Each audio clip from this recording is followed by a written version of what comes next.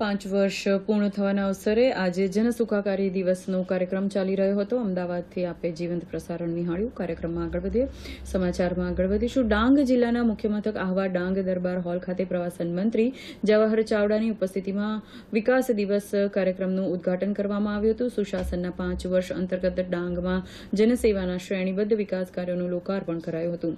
રૂપિયા આઠસો લાખના આવાસો, રૂપિયા પાંચસો લાખના ખર્ચે તૈયાર કરાયેલું સુબીર આઈટીઆઈનું લોકાર્પણ, ત્રણ નવી એસટીની બસો ઉપરાંત વતન પ્રેમ યોજના પ્રજાર્પણ કરાઈ હતી. વિકાસ દિવસ અન્વયે ડાંગ જિલ્લાના કુલ ત્રણસો લાભાર્થીઓને રૂપિયા ચારસો બાર પોઈન્ટ એંશી લાખની કિંમતના પ્રધાનમંત્રી આવાસ યોજના, ગ્રામીણ અંતર્ગત આવાસો એનાયત કરવામાં આવ્યા હતા, જ્યારે અન્ય એક હજાર ચારસો ઇઠ્યોતેર લાભાર્થીઓના કુલ રૂપિયા ચારસો તેતાલીસ પોઈન્ટ ચાલીસ લાખના આવાસોના ખાતમુહૂર્ત સાથે કુલ રૂપિયા આઠસો છપ્પન પોઈન્ટ વીસ લાખના કામો પ્રજાર્પણ કરીને વિકાસ ઉત્સવ ઉજવાયો હતો.